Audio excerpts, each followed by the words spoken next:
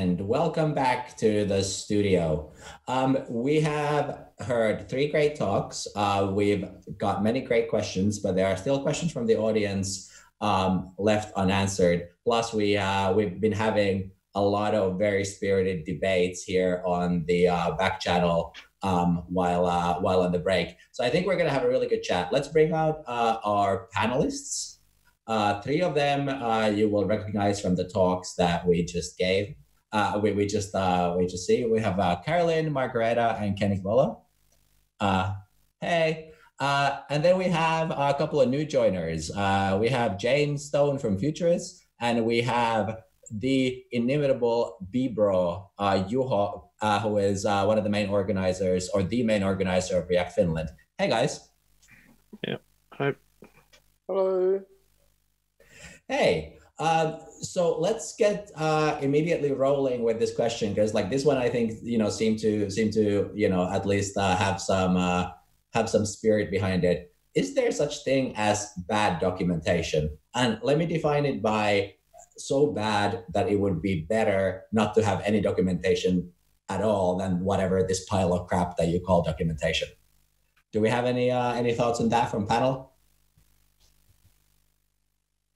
If I understood the question correctly, I think I've had a case of when the documentation was so misleading that it would be better not to have it uh, specifically, uh, in the documentation, it was a specific requirement to use a design system that wasn't really ready to be used.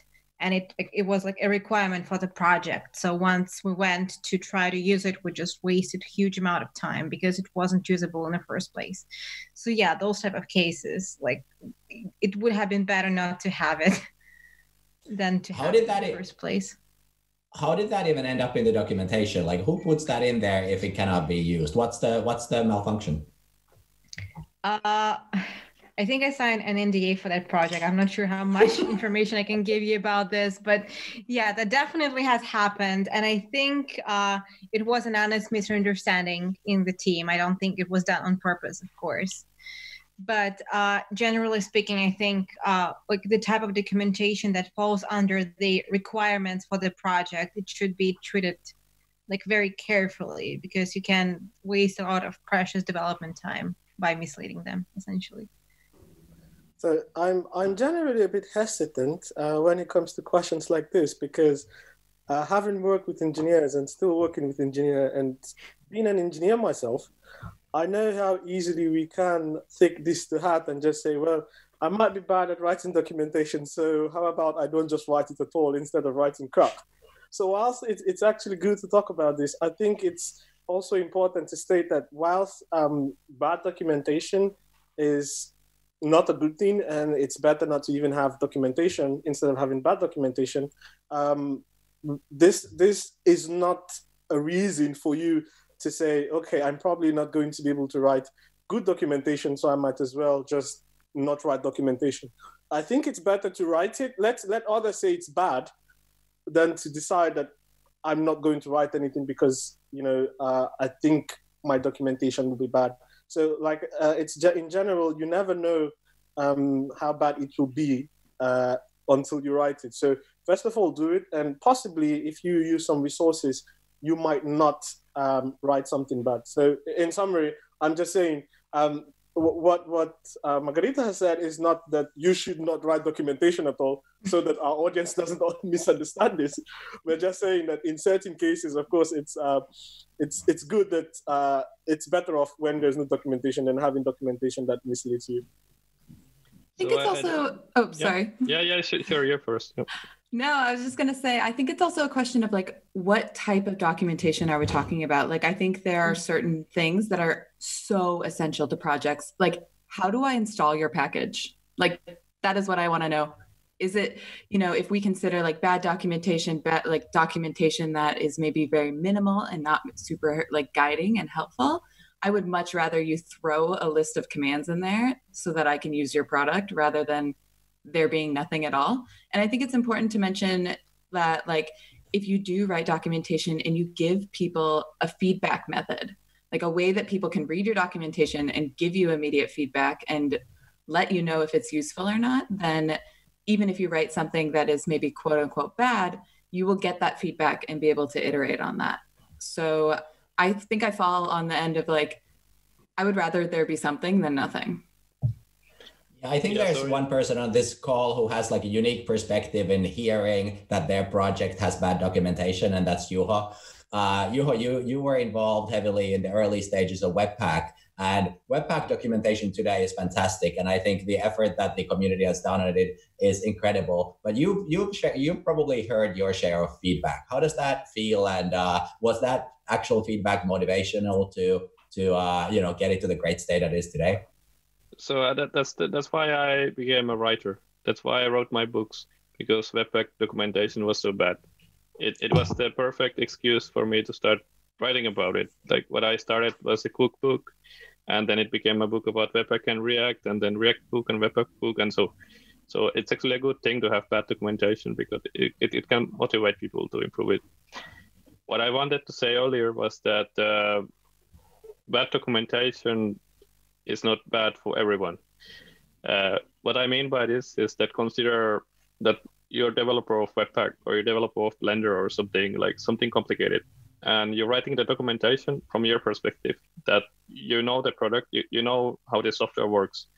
So you're writing something that makes sense for you, but at the same time you don't real- realize that it doesn't make sense for every uh, for anyone else or for the beginners or the people that don't know concepts.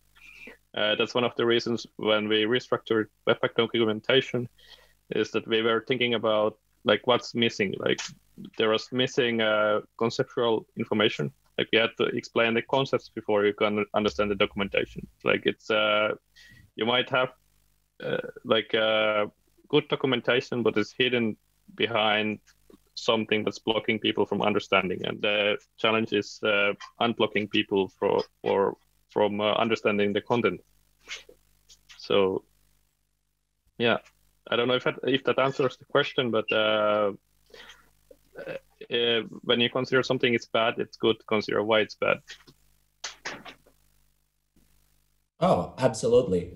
I think uh, uh, James, do you have um, do you want to weigh in on this one, or should we move to our next question?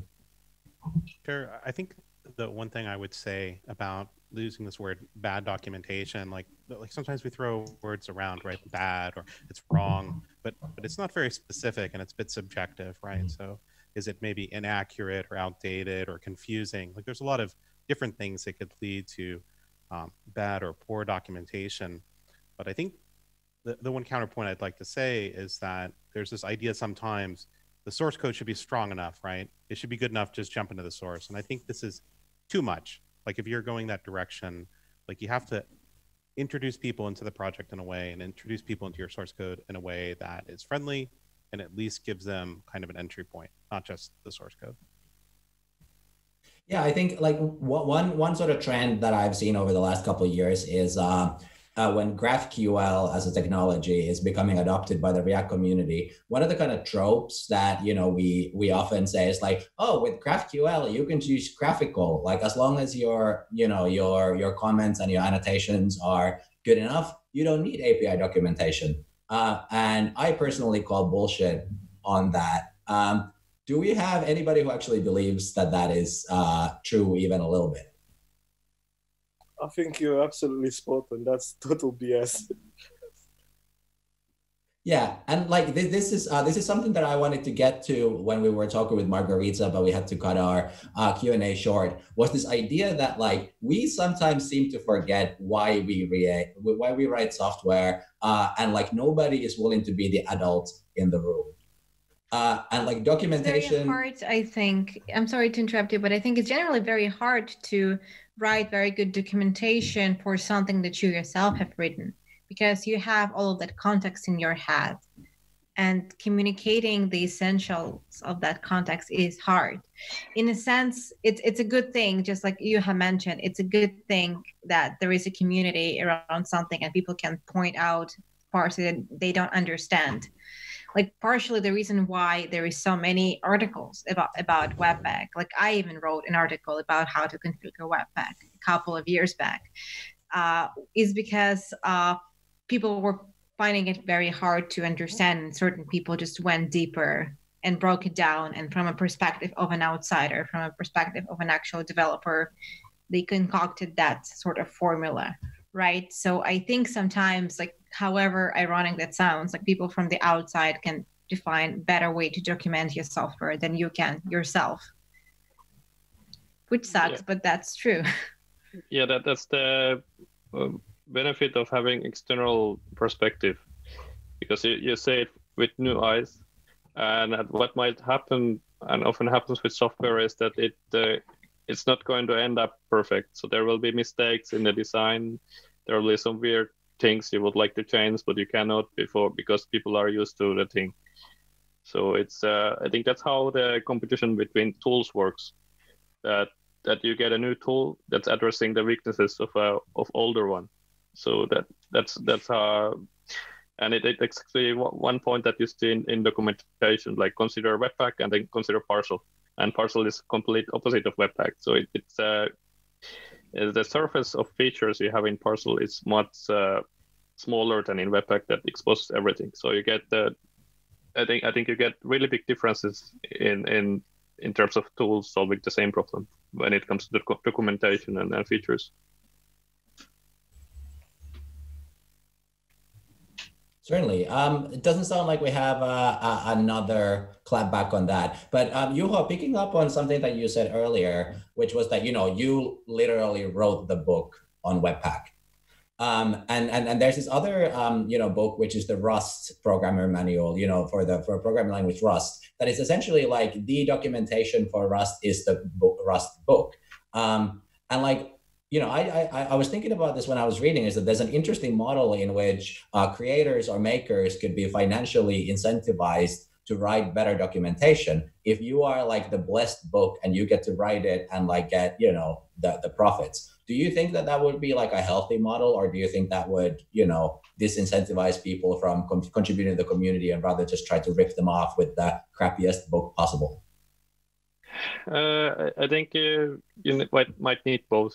Because uh, even with react uh, you have good documentation for react but still the documentation you have is not enough for everyone. And what's important to keep in mind that you have lots of different users from uh, with different levels of experience. So maybe for beginners, the official documentation of a project might not be enough. So that then you need a book for beginners that's starting from scratch and getting them to the level that they actually can understand the documentation one day. So I, I think there's market for both. And it, it, the point is that if a project doesn't have good enough documentation, it's quite unlikely to become popular in the first place. So it, it there's some certain level it ha- it needs to have. Yeah, uh, I I would definitely agree. And you know, the good thing about the Rust book is that it is available for free. You don't need to buy the print um, print copy of it. Um, there is no uh, no barrier to entry, so to speak.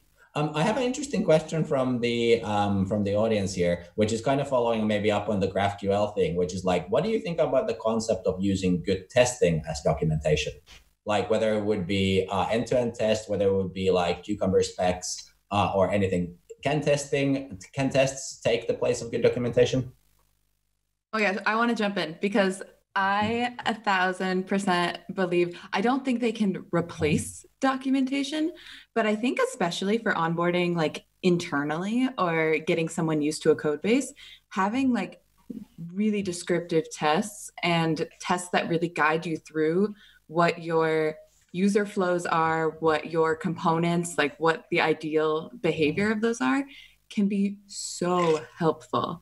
But you know, with that comes with the idea of like, we need to be naming things appropriately, which we've made a lot of jokes about in Slack. And like, you should be writing your it, like, it does this, like, should be descriptive and really give someone context who doesn't already have it. And yeah, I, I love using testing as a foundation for like internal onboarding and things like that.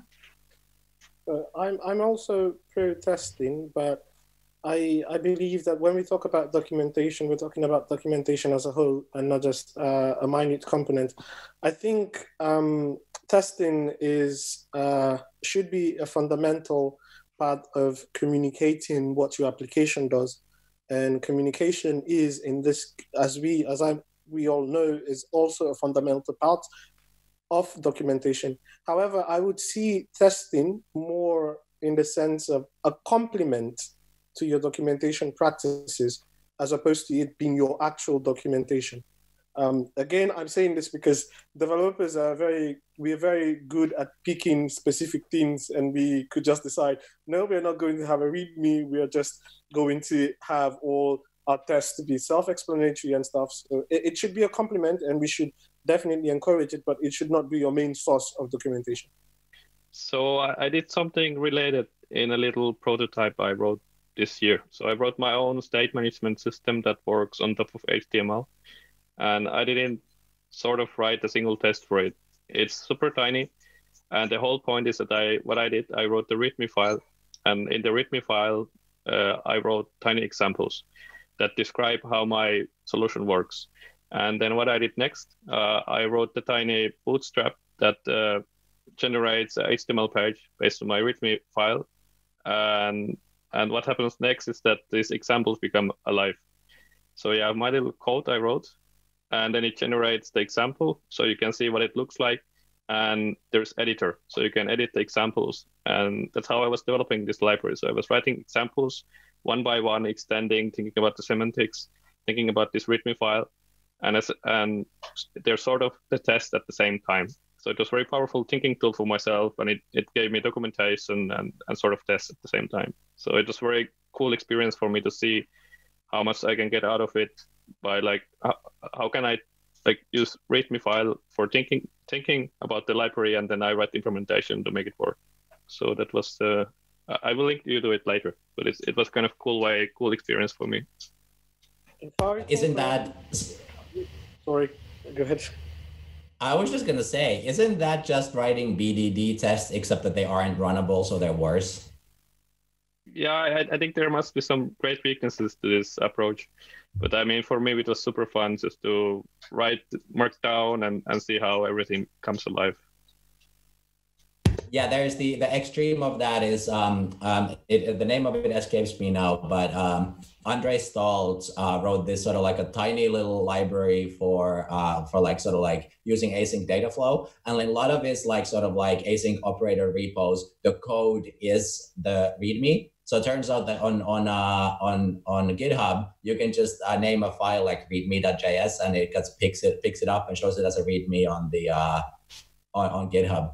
Um, don't know. Did anybody see that? And and what are your thoughts on that? Like, can code ever be so succinct uh, that it's better just to read it than to uh, you know try to describe it in prose, which always makes it go out of sync eventually? Well, I would say that's actually an interesting concept, and I was going to point to Juho's library because if I recall, you did share that in Slack, and I did go ahead to try it. Yeah, uh, yeah, sure. I, I will was, put it to the channel. Yeah, hmm? yeah, yeah. It was quite descriptive.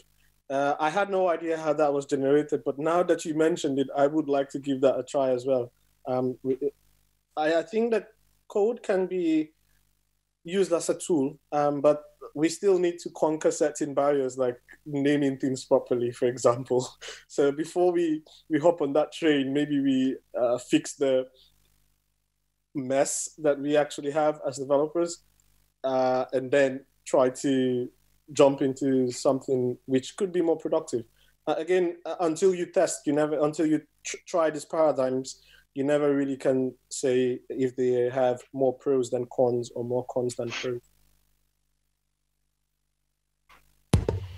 Well, jumping right. back uh, to your question about Andre, I think that's definitely his philosophy in life, in a sense. Like, like it's open source, so you might as well read the source. I think that's his like perspective on the open source code in general, and I respect it. I, I understand his perspective and why he chooses like the, to go that way. But at the same time, I'm not sure whether I would use it in practice on the project that I'm creating.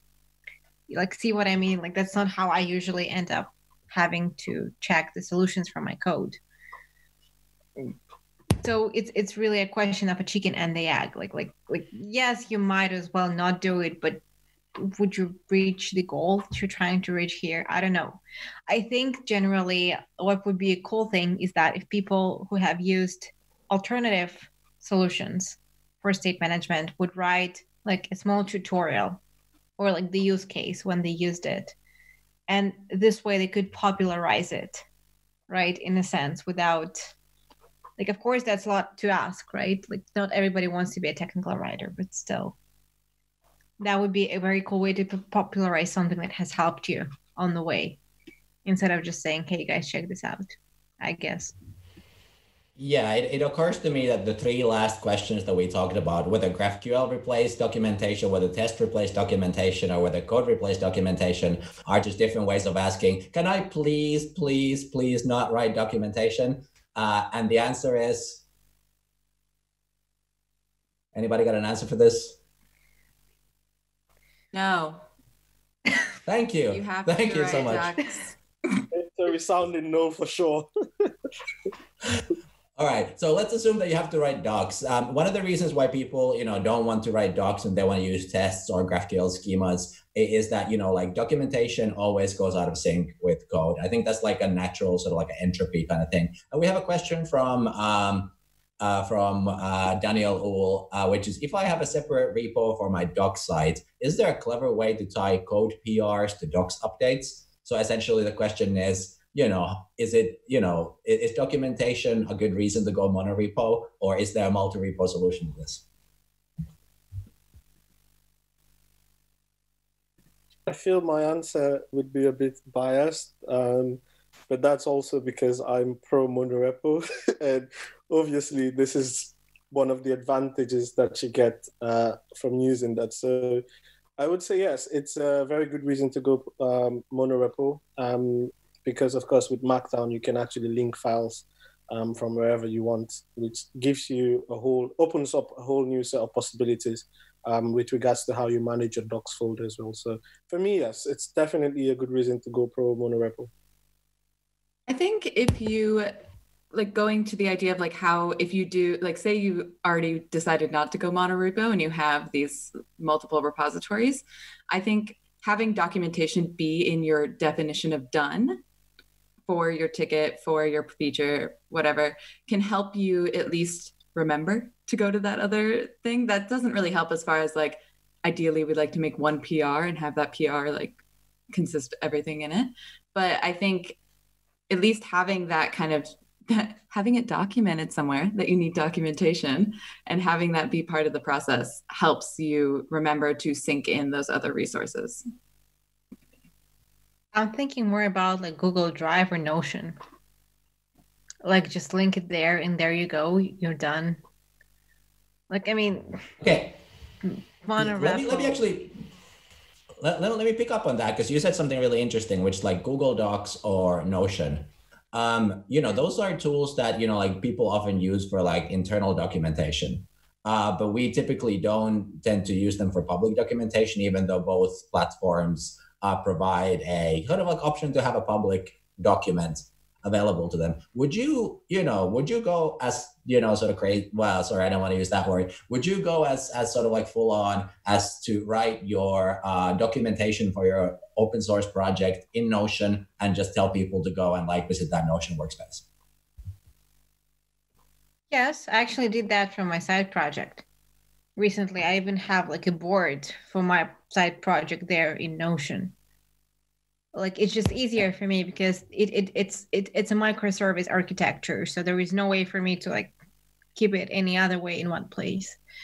Uh, plus, there has to be a domain description, and like, okay, where where do you place the domain description in the backend, in the front end, in one of your microservices? Are you doing it somewhere else separately? There is so many questions, so it's just easier to have just one place.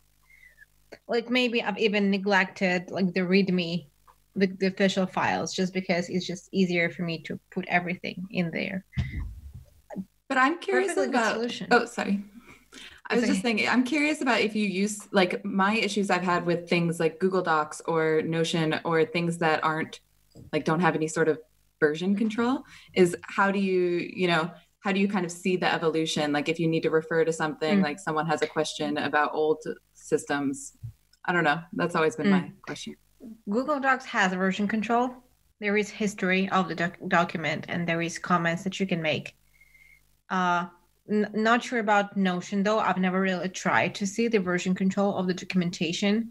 I think, uh, like we're talking about different parts here of documentation because like the topic is like so broad, right? Like we're talking about design systems tests here that also include documentation, the readmes. Um, on the broadest level, I think, um, generally speaking, like managing the versions of it doesn't matter all that much if it describes the entire system correctly.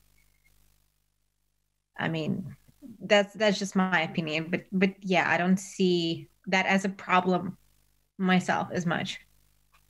yeah i was just curious genuinely Yeah, I I would I would say that um, maybe personally for me, um, having the different versions or being able to see the history of how the documentation and in general the product has evolved uh, gives me a better overview of where we're coming from and where we're going. Um, and that's because, of course, um, when you take on a lot of external projects, there's what they tell you and there's what actually the code tells you. And a lot of the times you can actually see this from how um, of over time uh, the documentation has changed and the code has changed and then you can compare with what you're being told as a consultant that okay this is what we have done uh, but the code tells you something different and the documentation tells you something different so i think personally um, i find versioning especially for docs um, i find them also super useful as well Um, I want to pick up on something that you said, um, which was the words as a consultant. Uh, and this question, I'll start with James, because I noticed that you're wearing the Futurice uh, t-shirt, and it's a company that I used to work for, so I'm very familiar with it. Do you do you think that there are like different challenges um, when it comes to documentation? When you know, like when when we're talking about like so like a vendor uh, client relationship, whether you're an indep- independent contractor or or an agency, like doesn't it you know like is there any kind of unique challenges around you know handover and and, and all that or or should soft, should software documentation be the same no matter who writes it um, and where and when Yeah, it, it's a good question. I don't know if it's consulting in general, but, but the trend that I've noticed is like larger enterprises, they really want a lot of documentation, but they're they're not really what like I would think of documentation in terms of like software development on the team that I'm working with in particular. So instead of it being kind of how do I use it, like why is it important, like what are the tips and tricks, it gets like really high level and kind of maybe more architectural and into like ideas of like what this organization is thinking about.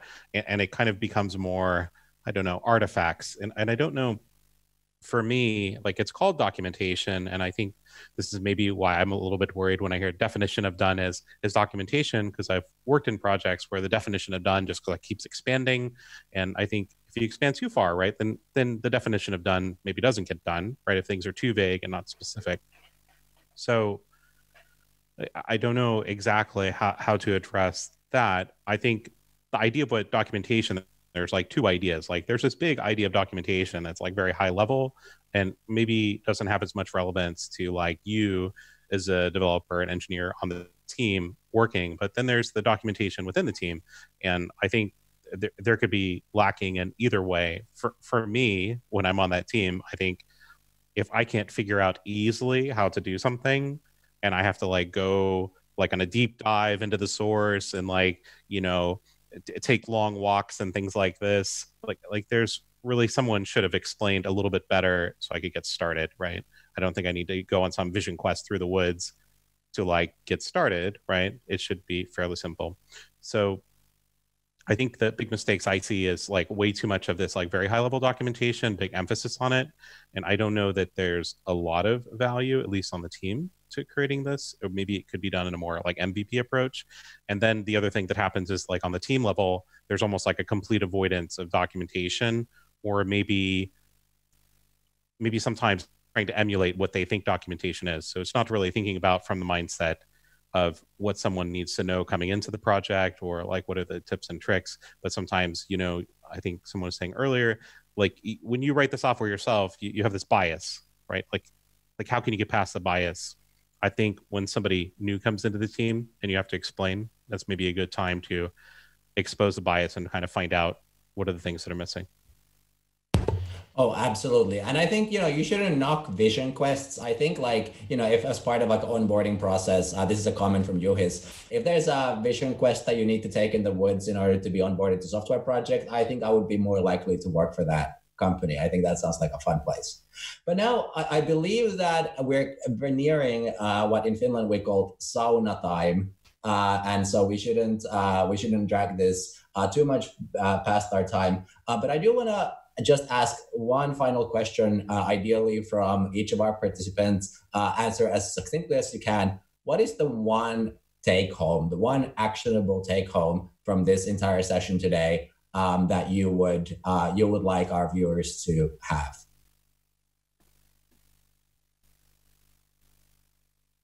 Anyone can start. I think I can start. I think that would be understanding the domain of your project very well then then everything else is going to come then everything else such as whether we're using the right tools whether they're using the right libraries how documentation should be formed is going to come after this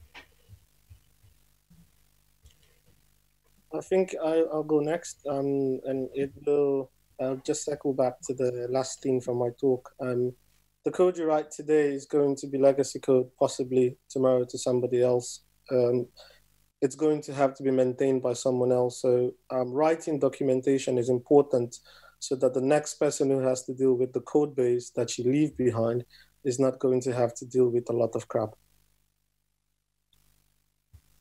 I would say the biggest takeaway, oh, there's so many, but I would say probably that documentation, creating documentation should be a collaborative process. It should be something that you work with other departments in your organization, you work with your teammates, but maybe via code review, you work with your users and work with their feedback. So, yeah, I will say it's important to understand who you're writing for because it, it matters a lot if you're writing for, for beginners or experienced coders or your boss or, or customer. So everyone has different requirements regarding documentation, and that's something you should take into account when writing. I think for me, just pay it forward. Like if you come across the bad documentation, just clean it up a little bit. Like you don't have to fix everything. Like, you know, you only have to brush your teeth twice a day for two minutes. So just spend two minutes, fi- fix a few things here and there. I think it's a good approach to get started. All right. Well, thank you everyone for those uh, pieces of wisdom. Also, thank you so much for your talks.